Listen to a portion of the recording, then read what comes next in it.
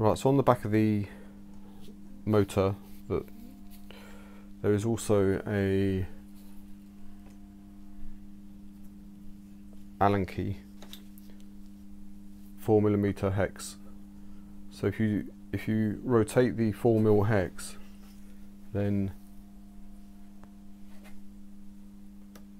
you can see that intermediate shaft cog moving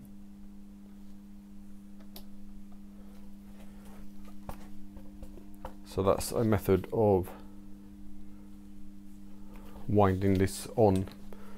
so if you're taking this out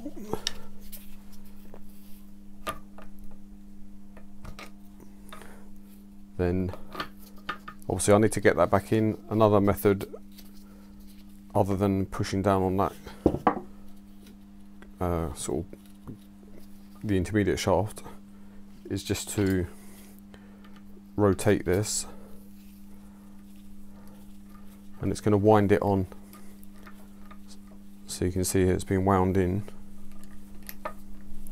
okay so now it's in contact with the head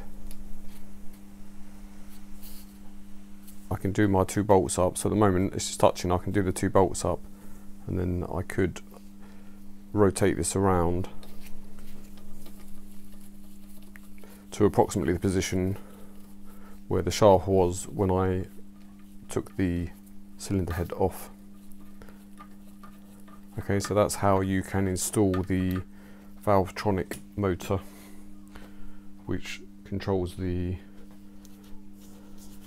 variable valve timing intermediate shaft on a Prince engine.